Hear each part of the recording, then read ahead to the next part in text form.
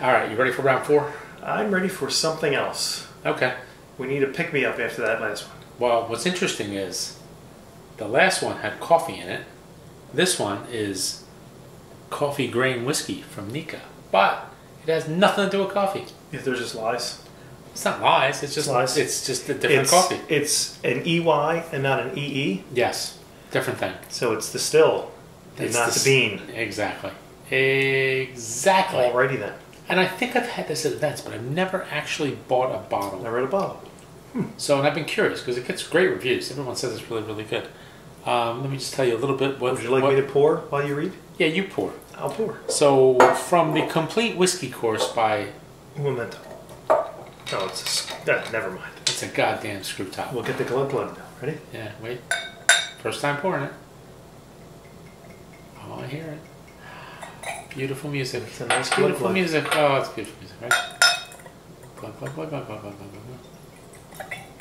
Very nice, very nice. It's a nice glug glug. All right.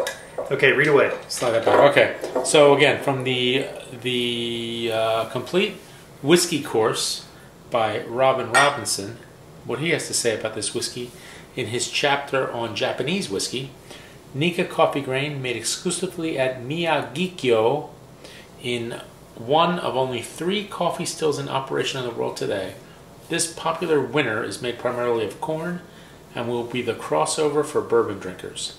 Elegant, sweet, and fruity. At 43% ABV, it brings some cool edginess to its high caliber spirit. So, he speaks pretty highly of it. Does he provide scores for these? No, he doesn't. He just, He just just, rates 'em up? just, just says, drink this. That's all, All right. he says. I- I'll accept that. Cheers. Cheers. Cheers. Oh, that smells nice. I'm getting a little of the, of the corn just because he Yeah. mentioned there was corn He in said it. bourbon. It, it does smell have like a bourbony. bourbony. It Right, does right, right. It's very, very, very vapory. Yeah. And it's only 43%? Is that what you said? 45. 45%? 45% on the bottle. That's what it says So in the it, bottle. it smells hotter than that. It does. It's it's quite burny. Are you breathing with your mouth open?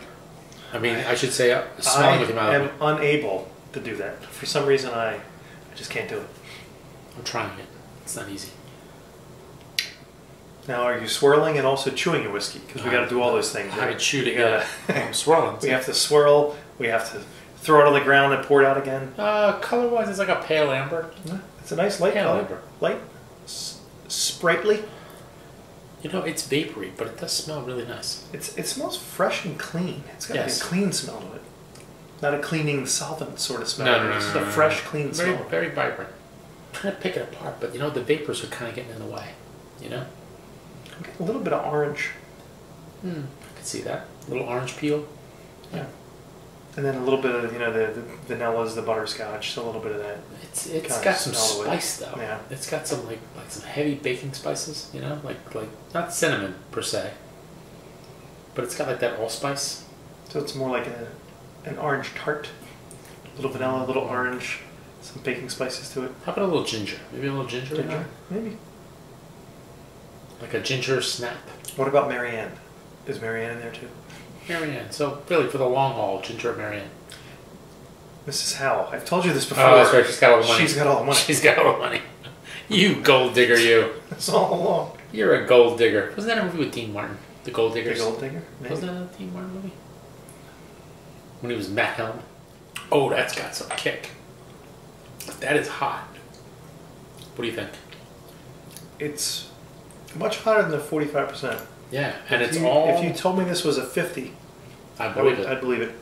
It's all up front. I'm getting a little bit up front, It's all up front. but my me. tongue and teeth are anesthetized now, so maybe I can't tell. And a little bit of heat, um, maybe a little more cinnamon than it is pepper. Mm, I gotta think about that one. Because, you know, first sip is always like, whoa! And you gotta go or to the it's uh, again like more baking spices than anything to me. It's not very thick. It's not particularly oily. But it is very nice, though. It is very, very nice. Um, the flavors are all in the front third. I'm getting a little caramel. Like a little. Again, more like the baking spices all Yeah. that comes through. I'm the, getting a the- bit the, of, like- the vanilla, the butterscotch, the, the, the toffee-ish kind of Yeah, flavors yeah, yeah. coming through. It's very fruity. The citrusy uh, nose, I don't really pick up much citrus, Hmm. No, and the finish is um, it's not that long. it's It's a, little mild finish. It's, It's a, a little finish. You don't get the burn Mm. per se, um, but it's it's it's a very approachable, very drinkable whiskey. Yeah. Very nice. Very nice. I would say if someone's telling me that this is a whiskey I should drink, they're correct. Yeah, This no, is a whiskey I This should is drink. very good, and it's not something I usually expect from like the Japanese because I've only had most of their single malts. Yeah, I think this is very similar, as they said, to a bourbon. It's got Mm-hmm. Not that, quite. It's Not got, quite but it's as got more of an. American flavor to it than Yeah. It does a Japanese flavor. Um, I think a lot of Japanese tend to be Scottish, Like Scotch, like really well But- crafted Scotch. but a little different, maybe a little Mm. islandy, a little salty, a little maritime. Yeah, And I'm not really getting any of that with this. There's really not a lot of maritime flavor to this. This is very similar to, you know, a corn whiskey. go back to it again. It's You very gotta, nice. you gotta kind of like try it a few times. nice. This is the first time we're trying it, Yeah, so no, that's Nice. good. you just cracked open. That's bottle. good. This would this would be really good cocktailing. I think Oh, absolutely. this would make a nice old Absolutely. fashioned. I could maybe a highball, but I think for for things that are more leaning towards bourbon, I think I go more old fashioned. For like scotches and stuff like that, What- Scotch and Irish, What about I go this? In highball. a, what about this in a ginger, like a ginger beer, something like that? Yeah, maybe. You know, I can like see a, that. what is that? A Tom Collins? Uh, no, the You know, Kentucky, or, like, uh, like a Kentucky a mule. mule. mule. This would be like a Tokyo mule. a mule. Kentucky mule. That's good. That's really nice. That's really really is nice. nice. That is very nice. Forty-five percent. Boy, that's hot. First impressions, I go like 88, 89. But I'm thinking this is going to be the kind of whiskey that's going to grow on me. You know? So you're saying this is a solid B plus plus, A minus, yeah, but as you have more of it, it's going to migrate to potentially to an A. because we've had a few of those. Like remember that little tasting we did with Raja like last week? Yep. I do remember last week. Yes, that's good. That's a good sign. But there was that that one whiskey, the one from Australia. I forget what it was called. Tin The Shed. tin shed. Yeah. The tin shed. The first sip was Yeah. kind of, mm, but the more I Yep. tried it, Yep. it just kind of grew on me. You know, because it was pretty subtle. Same thing with this. I think I'm going to get more out of it like the next day. And I, I would be intrigued with trying this in a cocktail Mhm. to see how it holds up Yeah. and to see what it does to a cocktail. Right. You know, I'm a big fan of old fashions. I'd like to try a mule. Why Yeah. not? Sour. They're all sure. good. But yeah, this is uh, very nice. Now we've had uh, Nikka from the Barrel. Nikka Have from the barrel.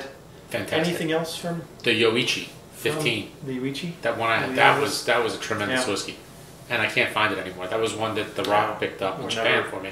Yeah, I think you'd have to get it through the airports. And this was like probably s- Yeah. five, six years ago. It was a bargain at the time. It was like the same as this. This was like And- seventy bucks. And now after Suntory, uh-huh. it seems like they've shut down all the the Japanese whiskey. I don't coming think they've shut it down. I just think Well, they that just keep it in the house. demand is Not too that there high. isn't any. You know, they've closed. They're just not sending it here. Right. Um, and you can't find any of it. You know, the Nikka's not here. And No, I'm. I'm actually surprised you found this Yeah. Yeah. because I've good. gone and looked at uh, various places and um, it's hard to find good Japanese whiskey on the shelves. Yeah, There's, not, there's, there's other there's other distilleries that I don't know enough Yeah. about. Yeah. But I know Nikka. I know Yeah. that their stuff is really good, so that's why I picked this up. There was another one like oh I a Y. There was a few other ones. I can't remember the names of them, but there were there. But this one was like the one that I knew, Yeah. so I figured Yeah. I'd try it out. I really would like to have tried the Coffey malt, but I couldn't find them. Yeah, So, just out of curiosity. it's very good. So yeah, I would go 88 on this. Yeah. You know, I agree. you know, again, this is first impression. I agree. This is you saw me. This is the first time we opened it, so we went in cold. Very nice. Very approachable. Very drinkable. Yep. Like a lot of the other Japanese whiskey we've had, well crafted. And uh, like you said, I, I think the more you drink it, Mm-hmm. the more you're probably gonna like it. Oh, absolutely. So, sir, cheers. Cheers. And cheers Thanks for Mika. sharing. Absolutely. Absolutely. You've shared plenty. My turn.